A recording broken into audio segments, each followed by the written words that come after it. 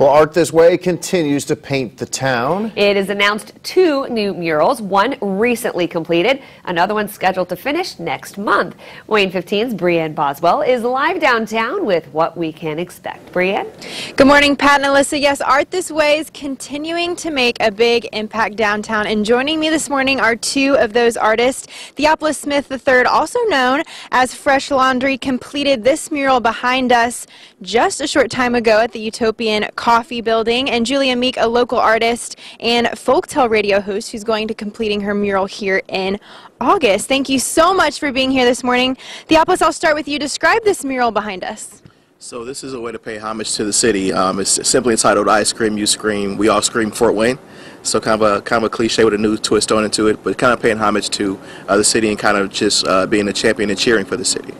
Julia, now you have other murals that you have painted throughout downtown, including the one on the side of the Hyde Brothers Booksellers building. You keep your artwork top secret, but can you give us an idea of what the next one will look like?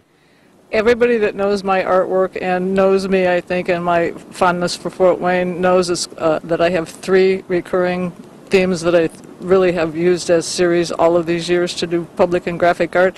It's going to be one of those three, I can say that much. Otherwise, I'm asking everybody to stay tuned because it will scream Fort Wayne in my own way. Thank you. I love that.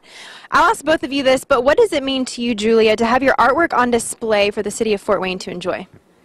The sharing of artwork is a personal and wonderful, wonderful thing, and when it does really uh, stand for your city and for and with your city and it's done by you and your love for your city, it all shines through. I am very, very proud to have been the very first woman to do a mural here in Fort Wayne.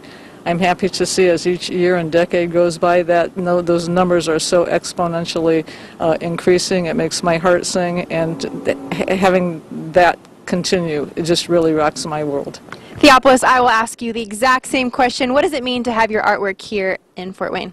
Um, I think it's um, kind of like a, a flag for me. Um, this is you know history to making. This is like the modern day um, hieroglyphics, if you will. Um, just being an inclusive project and um, just involving a lot of people, also being African American. I take pride in that and just being able to shine and just showing that hey, uh, we have some great voices in the city, and I'm glad to be a part of it, part of history. All I know is your mural is making me want ice cream at 5 a.m. in the morning.